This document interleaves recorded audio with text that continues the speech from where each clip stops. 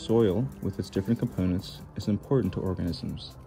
Soil is made up of living and non-living materials and is affected by other factors. Some soil scientists use the name CLORPT to remember the components that make up soil.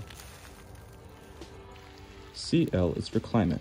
The temperature, amount of rain or dryness, and wind combine to affect the speed of the chemical reactions that cause rocks and minerals to break down and add layers to soil. The rain can slowly weather the rock, causing minerals to leach or dissolve the rock into the ground below. O is for organisms. Animals, plants, or bacteria, living or dead, change the soil as they move, live, die, and eventually rot in it. From earthworms moving in the soil, to salamanders laying their eggs, to bess beetles adding in digested wood, all activities impact the soil. R is for the relief or the topography of the land. The slope and shape of the land, whether it is a valley, a mountain, or a flat desert, makes a difference in how the soil shifts, how the water flows, and the temperature of the area. P is for parent material. Most of the soil was rock at one time.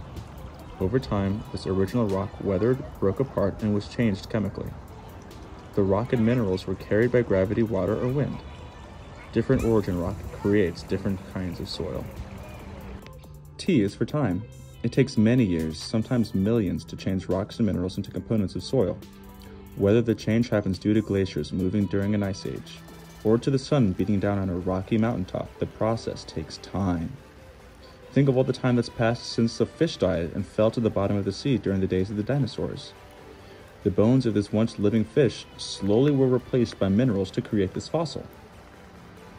Soil is always changing as new living and non-living parts change, as weather changes the level of temperature, heat, and water, as mountains erode into hills and hills into meadows over time.